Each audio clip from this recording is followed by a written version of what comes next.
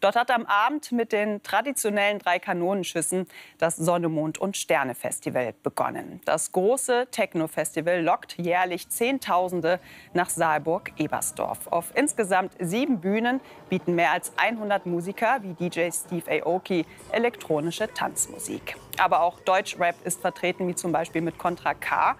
Bei der 26. Auflage des Festivals gibt es zum ersten Mal Tagestickets.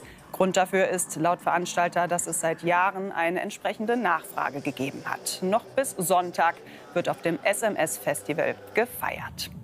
Ja, und live vor Ort steht jetzt unsere Reporterin Caroline Büscher. Caro, wie ist die Stimmung auf dem Festival, auch mit Blick auf die aktuelle Sicherheitslage bei Großveranstaltungen?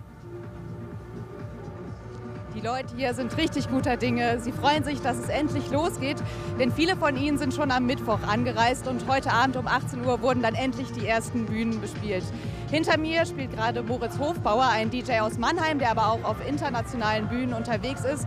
Und die Leute haben richtig Lust. Sie tanzen, sie feiern und um Sicherheit machen sich die meisten ehrlich gesagt gar nicht so viele Gedanken. Die Security sind da ähnlicher Meinung. Die sind mit genauso vielen Leuten wie auch sonst vor Ort. Für alle Fälle ist hier aber natürlich auch Polizei präsent. In diesem besonderen Fall sogar mit Polizeibooten auf dem Stausee. In der Festivallandschaft dominieren ja eher die Großen, die Kleineren sterben aus. Welche Bedeutung hat das Sonne, Mond und Sterne für die Region? Ja, man kann sagen, dass das Festival und seine Bedeutung auch mit dem Sonne, Mond, Sterne selber gewachsen ist. Also als das Sonne, Mond, Sterne 1997 zum ersten Mal stattgefunden hat, da waren da nur so 2000 Gäste vor Ort und Techno auch noch eher Subkultur. Das hat sich geändert.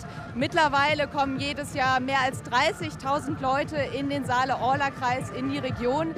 Das ist zum einen natürlich auch ein wirtschaftlicher Faktor für die Region, zum anderen aber vor allen Dingen auch Prestige.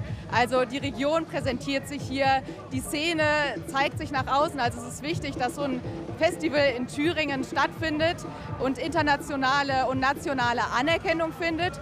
Zum anderen präsentiert sich die Region aber besonders auch, besonders auch gut. Ich habe hier vorhin mit zwei Jungs aus Stuttgart gesprochen, die sind zum ersten Mal beim Sonne, Mond, Sterne und die sagen, wir kommen auf jeden Fall wieder, uns gefällt es uns hier so gut und die Landschaft hier in der Region, die gefällt uns auch so gut, dass wir uns hier sogar vorstellen können, Urlaub zu machen. Herzlichen Dank, Caroline Büscher live von der Bleilochtalsperre.